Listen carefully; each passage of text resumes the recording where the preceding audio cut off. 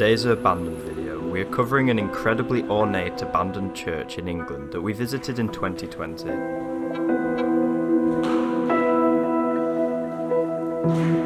The stunning property has been standing for over a century, boasting architecture that is one of a kind and many belongings remaining. It is crumbling to the ground with every day that passes, losing its rare design. Join us as we venture inside to see what's left.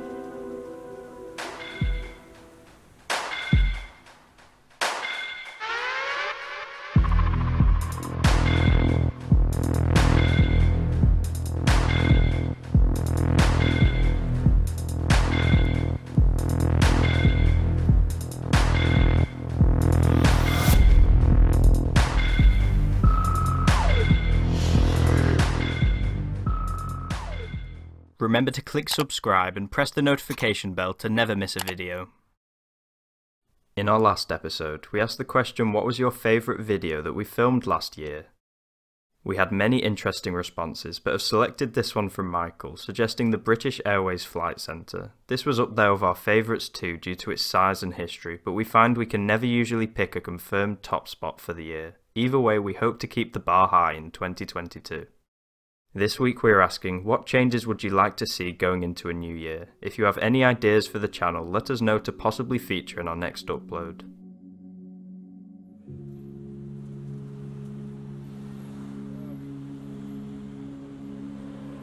As soon as we reached the imposing church, we knew it wouldn't be an easy infiltration. It is located in one of the busiest areas we've come across, with hundreds moving past it every minute. One glance showed us that the front was sealed tight, meaning we would need to look at alternate routes inside.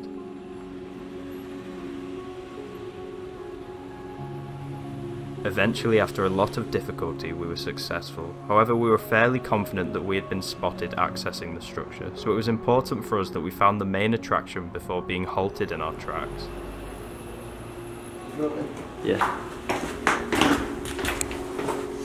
The tiles are really nice. Yeah. Just want to see that main hall, if anything. I think it should be just through here.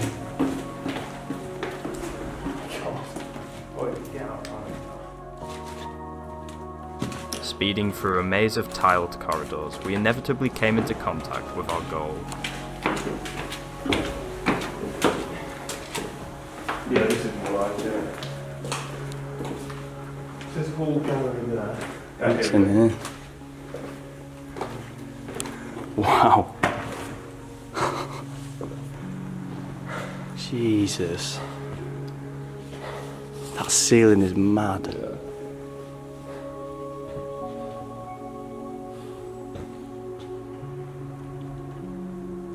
Lost for words from the beautiful scene before us, as well as the difficult entry, we stood amazed at the state of the architecture in the 1,500 capacity auditorium, most noticeably the towering dome with all of its intricate details.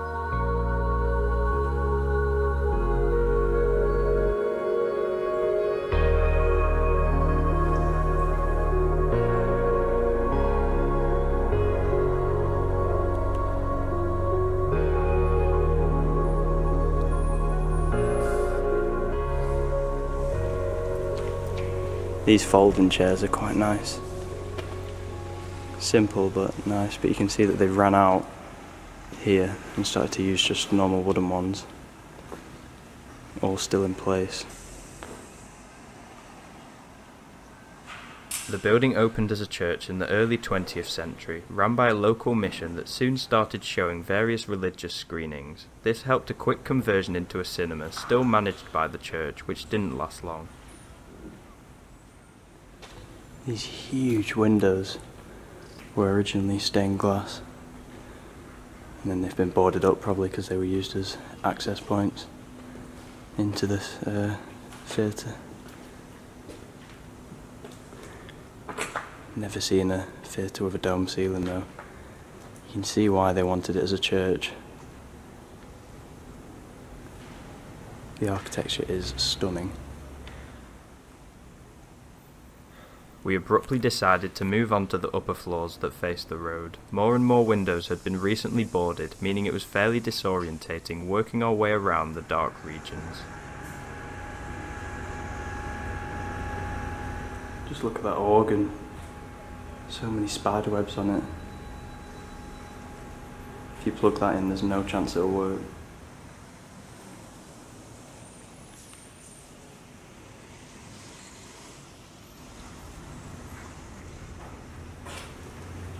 At these door frames. Or exit sign. Everything about this place screams old. Just like this. That is one dated table tennis table. I believe this should be the projector room. That's when the property was a cinema. Or maybe just for showing uh, religious films. It's old. It's a strange room, it's really tall. No projectors left, just the kind of design where they would have faced. The tiles are another special feature of the dated structure, delicately placed on all the walls spanning around the central hall. As we progressed towards the entrance foyer, our nerves of capture slowly dying down, our torchlight was bouncing off their reflective material. This architecture is ridiculous.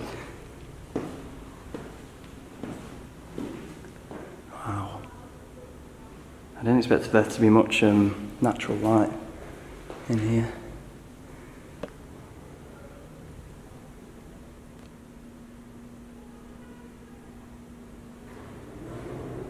This room's quite interesting. It's like a miniature version of the main hall. You can see where there was a nice ceiling, but it's all crumbled to the ground where there's loads of rubble.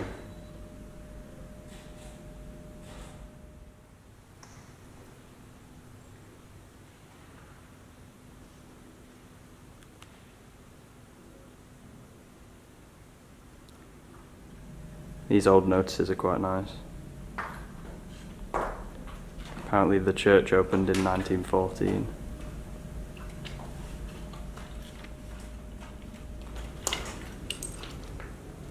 The floor. I've never seen a floor do that before. It's a total bump. Oh my god. It feels so weird to walk on. You can tell this place was less, left untouched. All the books remaining. It's going to be like the reception area, like offices.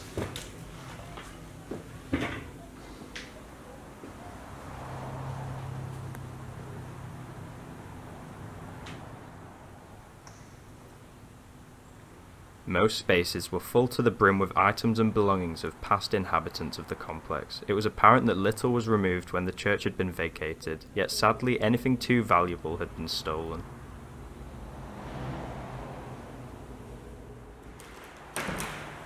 Floor is so bumpy. There's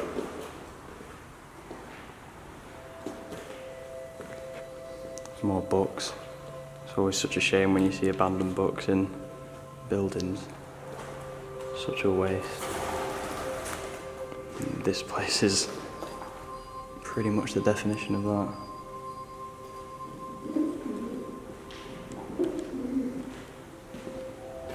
Assume these doors will take us into the uh, main hall. Hmm. Nope, they're locked.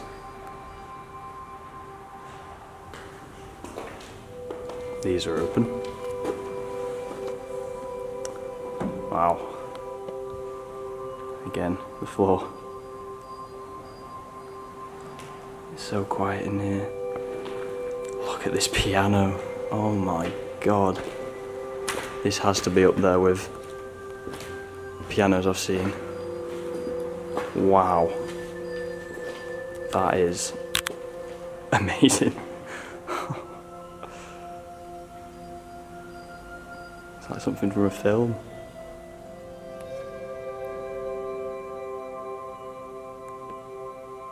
Only two decades after the church became a cinema, it was closed and was reverted back to a house of God, maintaining the same usage until closure under 10 years ago. This was due to multiple surveys expressing safety concerns regarding the site's old fashioned build and the cost implications to restore it to an acceptable standard.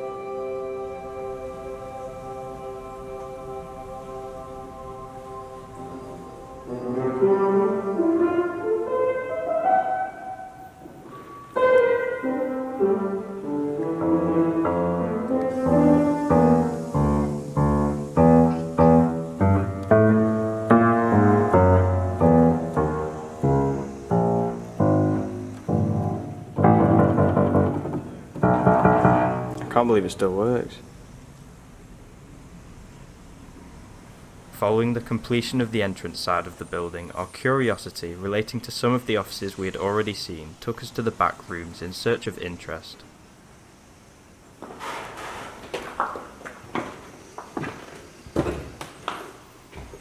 Jesus. It's like a miniature. Oh my god. it's like a miniature sick. chapel, isn't it? That's fucking. The windows are intact here as well, and there's no boards. Yeah, they have a above. Yeah, yeah, but I mean on, on this side, so you can kind of make them out. You couldn't make them out in the main hall.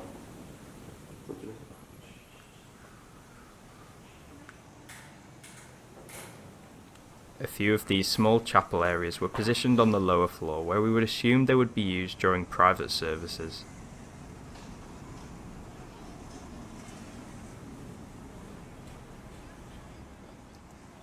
That's quite sad. The piano's a gift to uh, someone related to the church. Really? Yeah, and they've just left it.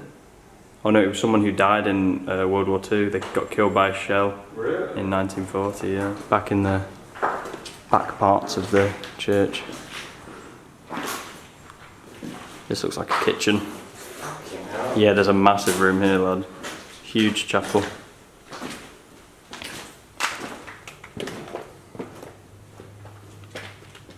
It's not really a chapel. It's like a Sunday school kind of. Yeah, probably. Look at the I mean, it chairs. could have been used for some sort of preaching. Yeah, maybe. I mean, there's a piano at the front over there, another grand one, just like a smaller version of the one in the main room. Look at the chairs, though. That's mad.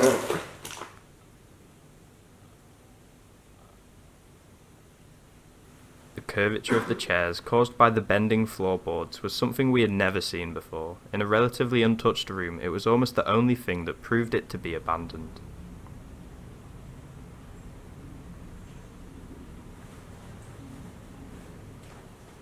As mentioned earlier, it is absurd to take into account the amount of books and pianos ruined because of neglect caused decay. It is tragic that they couldn't be saved and offered to charities or schools nearby.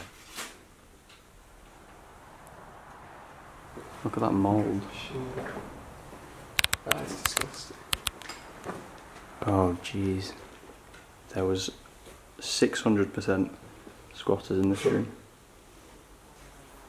Okay, we found a squat where the, the squatters live.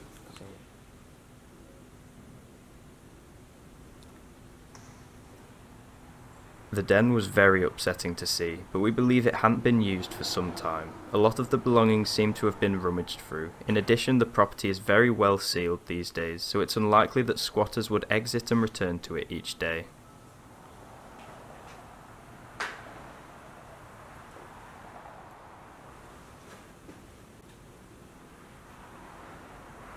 The signage is really cool.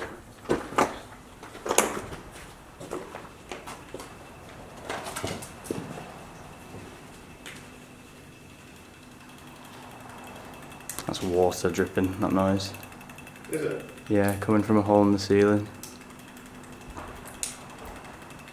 Sounded electrical, so I thought there might be power on.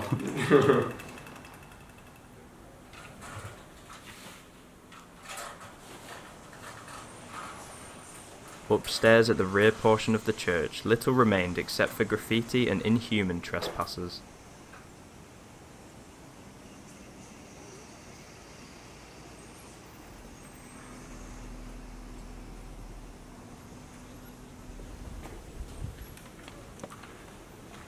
Quite modern around these back parts, but this bit seems to have a similar architecture level as at the front of the building where the main hall is. These huge windows are quite impressive. I'd assume this would have been another hall, but it's been partitioned off over the years. Now it's well housed by pigeons. Despite our worries that our exploration would be cut short, we were able to document the entire building comfortably in our own time. Even though it was just as tricky leaving as getting in, we were able to exit undetected.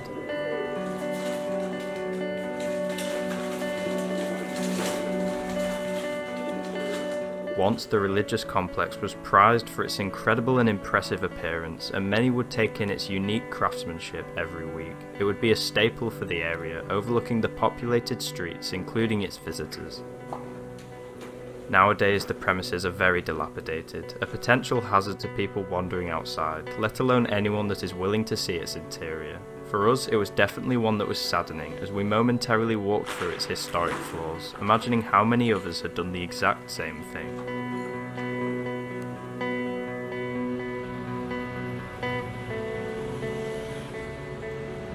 We hope you enjoyed coming along with us on this feature. If you did, be sure to leave a like and subscribe to never miss a future upload.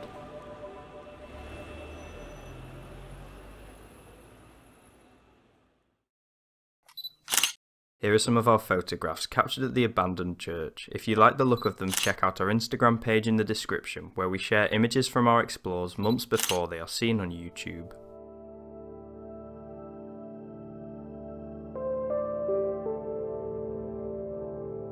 Thanks for watching. This was our first video of 2022. We have massive plans for the upcoming year and we can't wait to share them with you. See you next time.